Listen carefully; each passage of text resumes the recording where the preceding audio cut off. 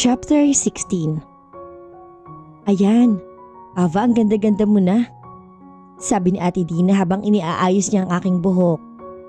Itirintas niya ang magkabilang side tapos ay inipit niya sa likod ng aking mahabang buhok. Thank you Ate Dina, sana magustuhan nila ako. Kinakabahan pa rin ako kahit sinabi na ni baby na hindi niya ako pababayaan. Narito pa rin ang takot sa dibdib ko pero malaki naman ang tiwala ko kay baby. Siyempre naman baby girl, ang ganda-ganda mo kaya. At ang bait-bait pa. Kaya sigurado ako magugustuhan kanila. Halika na, tumayo ka na dyan at baka dumating na si sir. Mabilis na rin akong tumayo. Si baby kasi umalis kanina at sasaglit lamang daw siya sa opisina niya. Babalikan niya rin daw ako kagad. Lumabas na ako sa sala at naupo sa sofa. Dito ko na lang iintayin si baby. Nakita ko naman yung phone ni Ate Dina na nakakalat lang sa center table. Ang dami ko nakita dyan sa phone niya. Ginagawa kaya ni Ate Dina yon? Pero kanino naman hindi kaya kay baby? Pero ayaw ni baby na ginaganon siya. Hindi rin daw ako bagay sa ganun. Gusto ko sanang tingnan ulit ang phone ni Ate Dina. Kaya lang baka bigla dumating si baby at bigla akong mapalingon sa aking likuran na bigla na lamang mahimalik sa aking pisngi. Baby, andyan ka na pala eh. I caught her standing at Dina's phone on the center table. Ano ba naman kang babaeng ito at hindi itabi ang phone niya? Malilintikan talaga sa akin ng babaeng to. Sir, andyan na po pala kayo?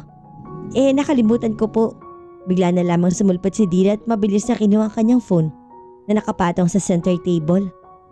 Pinagsabihan ko na kasi siya kaninang umaga pero kinalimutan pa rin niya. I just gave her a sharp look. I hope she gets what I mean. Sorry po sir. Eh, she almost ran all the way to the kitchen. I turned to Ava, who was staring at me and I also turned to the kitchen where Dina went. Tila nagtataka naman siya sa amin. Are you ready? Let's go?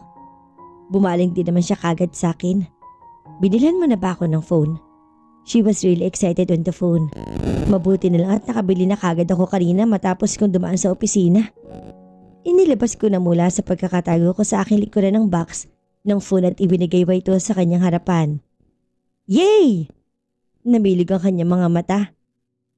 At mabilis niya tong inagaw mula sa akin at binuksan agad. Thank you baby. Doon na na-focus na kanyang atensyon. Makakaalis pa kaya kami nito? Samantala, habang nasa biyahe kami hindi ko mapigilang kabahan dahil makakaharap ko ang pamilya ni baby. Ano kaya gagawin ko kapag nakaharap ko na sila? Ano kaya ang sasabihin nila sa akin? Matatanggap kaya nila ako? Napakagad ako sa aking mga daliri dahil sa kabang nararamdaman ko ngayon. Para na ako ninenervyos. Babe, hindi ko tawag sa akin ni baby ngunit hindi ko siya magawang lingunin o pansinin. Similip ako sa labas ng bintana ng sasakyan at hinanap ang buwan. Nasaan ka? Tulungan mo ako. Baby? Madilim na sa labas dahil dinner time ang napiling oras si baby para mamit ko ang family niya. Nagulat ako at napalingon kay baby nang maramdaman ko ang paghawak niya sa aking hita at marahang pagpisil doon. Napatitig ako doon at dahil sa ginawa niyang pagpisil, nakita ko namang inedis niya to. Hinabol ang aking paningin ng kanyang kamay na ngayon ay dumapo naman sa manibela. Hey! Muling umangat ang kanyang kamay at napansin kong patungo to sa akin ngunit huminto rin sa ere. Baby, look at me. Muling kumilos ng kanyang kamay hanggang sa tumapat ito sa kanyang mukha. Kaya naman nakita ko na ang pag-aalala sa kanyang mga mata na ngayon ay nakatitig na sa akin. At doon ako natauhan. Namalayan ko rin na nakahinto na pala ang sasakyan sa gilid ng kalsada. Baby! Tawag ko sa kanya at ngayon ko lang din namalayan na nanginginig na pala ang aking katawan.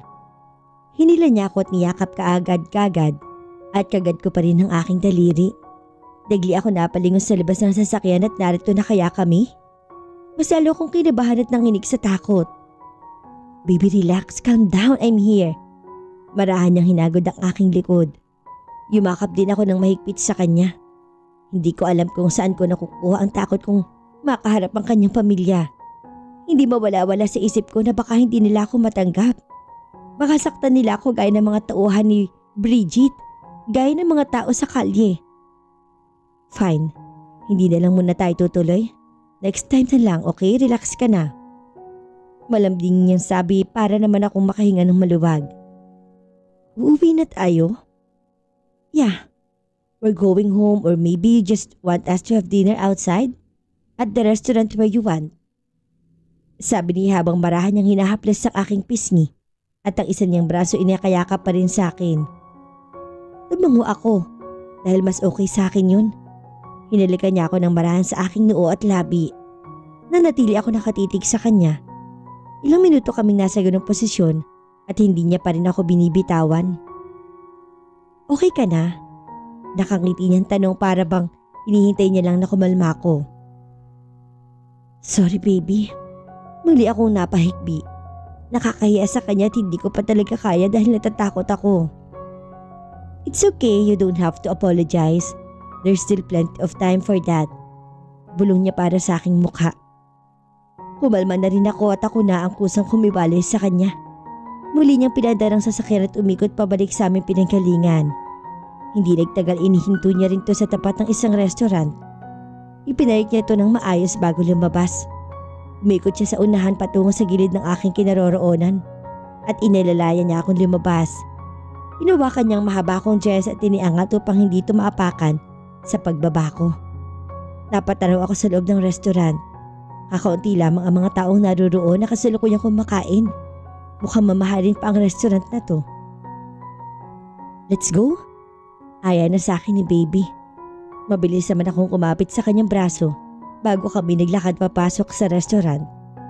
Pinili ni baby ang medyo sulok na pwesto at walang gaanong tao. Ako ang naupo sa tabi ng glass wall at siya naman ay sa aking tabi rin na upo. Lumapit ang waiter sa aming table at nag-abot ng malapad na sa tingin ko ay listahan ng kanilang mga paninda. Dahil may nakita ko mga larawan ng pagkain doon at mga pangalan nito. Anong sayo? Tanong sa akin ni baby. Parang masarap yung seafoods.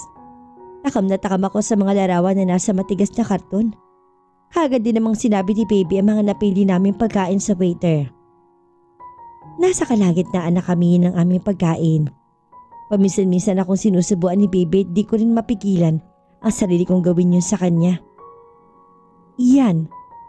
Oh my God! Look who's here! Sabay kaming napahinto ni baby sa pagkain at napalingon sa tinig ng babaeng narinig namin tumatawag sa kanya.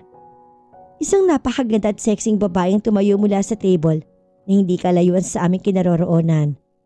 Pakending-kending to at naglalakad. Patungo sa aming kinaroroonan habang suot ang napakaiksing dress at napakataas naman ng sapatos.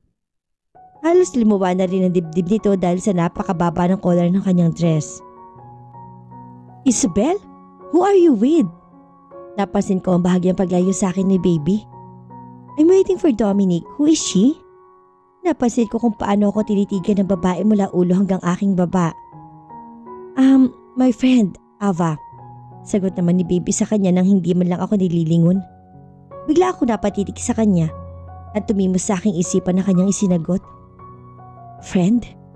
Napayuko ako at naibaba ko ang aking mga kamay sa ilalim ng mesa nang magsimula itong mga tal. Doon ko pinaglalaro ang aking mga daliri habang kinakagat ko ng mahigpit ang aking mga labi. Bumikat bigla ang aking dibdib. Oh, I see. Is she the friend you said you were visiting at the hospital? Tanong muli ng babae kay sir habang tumataas ang kanyang kilay sa pagtitig sa akin. Yeah. Si sir naman habang ngayon hindi niya pa rin ako nililingon. What family does she come from? Are they well known in the industry? Are they also entrepreneurs? Muling tanong ng babae na para bang minamaliit ako. Um, babe, muli kaming napalingon sa isang lalaki naman na dumating. Babe, here. Ian is here with his friend. Tawag naman ng babae sa lalaking yun. Kaagad lumapit sa pwesto namin ang lalaki at tumalik sa babaeng nasa aming harapan. Hey dude, nice and who is this beautiful woman with you? I'm Dominic. Tanong ng lalaki habang nakatitig sa akin kasabay ng paglapit niya sa akin ng kanyang kamay kaya mabilis ako napaatras sa tubo ko. Um, babe siya yung sinasabi ni Ian sa bar ng birthday niya na friend niyang dinalaw niya sa hospital. Ang babae naman ang sumagot. Really? Pero parang may kahawig ka. Sagot naman ng lalaki habang hindi himalis ang pagkatitig niya sa akin. Nanatili naman akong tahimik at tinitingnan na lamang sila. Din ang pagkaing tila na wala ng lasa dahil sa kanila. Yeah, you're right, babe. Kahawig niya si... Awa, di ba? Sino naman ang babaeng yun? Ngumisi lang ang lalaki at tumangot-ango. Kinilibutan ako sa paraan ng pagtitig niya at pagngisi niya sa akin. Mas naragdagan ng pagngangatal ang aking katawan. Maybe we can join here with you guys. Dito na lang kami kung hindi kami nakaka-estorbo. Nakangising sabi naman ng babae sa amin at wala pang sumasagot sa amin ay mabilis na silang umupo sa mga upuan na nasa aming harapan. Tinawag nila ang waiter at umorder din sila ng sarili nilang pagkain. Si Sir ay nagpatuloy ng muli sa kanyang pagkain. Samantalang ako hindi makuhang gumalaw mula sa aking kinauupuan. Hinayaan ko na lamang lumamig ang aking pagkain. Mukhang hindi rin naman nila napapansin dahil abala sila sa kanilang pagkakwentuhan na hindi ko naman maintindihan. Maraming beses akong uminom ng tubig at pilit pinakalma ang aking sarili. Nang matapos ay nagdesisyon ng magpaalam si Sir Ian pero mas nauna akong tumayo at dumaan sa kanyang harapan. Sa gilid ng aking mga matay napansin ko ang pagtitig niya sa akin. Ngunit hindi ko siya pinansin at mabilis ako naglakad palabas ng restaurant. Pagdating ko sa labas ay napatingala ako sa kalangitan. Nasaan ka? Magpakita ka sa akin. Baby? Napatuloy ako sa gulad nang bigla na lamang humawak sa aking kamay. Hagad ako napalayo at hindi magawang lingunin ng sino mang humawak sa akin.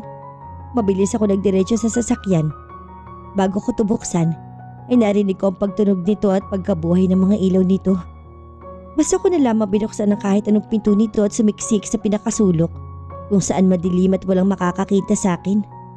Nangangatal na naman ang aking katawan at umiikot na naman ang aking paningin sa paglinga sa paligid.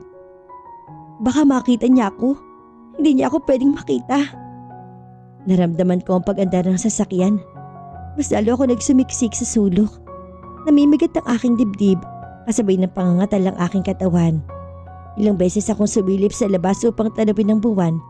Ngunit kahit anino niya hindi ko makita. Nasaan ka ba? Tulungan mo ako. Ang sabi mo hindi mo ko iiwan. Atulian ng umaga sa mga luha sa aking pisngi. Mama! Papa! hanggang sa hindi ko na napigilan pa ang mapahagulhol. Gusto kong ilabas ang bigat ng aking dibdib. Ramdam kong mas bumilis ang takbo ng sasakyan. Balik na kayo, Mama! Papa! Natigilan ako nang maramdaman ko ang paghinto ng sasakyan. Mas lalo ko nakaramdam ng takot nang maramdaman kong tila may bumukas na pinto. Napadinga ako sa labas at dito ko nakita ang pamilyar na basement. Bigla na lamang bumukas ang pinto sa aking kinasasandalan. Dito ko na lamang napansin na baksit pala itong kinaroroonan ko. Bumungad sa aking harapan si Sir Ian na punong-puno ng pag-aalala ang mukha. Ngunit sa lip na lumapit sa kanya, ay mas lalo lamang ako napaatras. Hindi ko magawang lumapit sa kanya. Baby, I'm sorry, magpapaliwanag ako. Tumaas ang kanyang kamay na para bang aabutin ako kaya mabilis akong umiling sa kanya. Huwag kang lalapit. Huwag kang lalapit. Mabilis ko binuksan na pinto na nasa aking likuran at doon ako lumabas. Halos takbuhin ko na ang daan papasok sa gusali. Habang mayat maya ko siyang nililingon, baka sinusundan niya ako. Mabilis akong pumasok sa kinabubukas pa lamang na elevator at may isang babaeng lumabas mula ron. Kagad kong pinindot ang kahit na anong buton sa aking harapan upang kaagad tong sumara. Nakita ko naman ang mabilis sa paghabol sa akin ni Sir Ian. Kaya halos mapasigaw ako sa takot at napaatras ako at patuloy na umiling sa kanya. Huwag kang lalapit! Huwag kang lalapit! Baby? Tuluyan nagsara ang pinto at nakahinga ako ng maliwag na manatili na lang siya sa labas at hindi pumasok dito sa loob. Ilang minuto lamang ang tinagal ko sa loob at din itong bumukas. Hinakbo ko ang hallway patungo sa unit namin. Malakas kong pinagkakatok ang pinto. Ate Dina, parang awa mo na buksan mo to. Halos siraan ko ng pinto ngunit ayaw pa rin itong bumukas. Ate Dina! Bibi, I'll open it. Let me. Napalingon ako sa aking tabi at nakita ko si Sir Ian. Kaagad ako napalayo sa kanya. Lumingon siya sa akin habang idinidikit niya ang hinlalaki niya sa machine. Nakita ko ang pagbalatay ng sakit sa kanyang mga mata, ngunit hindi ko to pinansin. Pagbukas ng pinto ay kaagad akong pumasok sa loob at tumakbo patungo sa aking silid. At dito muna po nagtatapos ang ikalabing anim na kabanata ng ating kwento. Samahan niyo ako muli para sa part 70 ng kwento. The CEO accidentally in love with a beggar.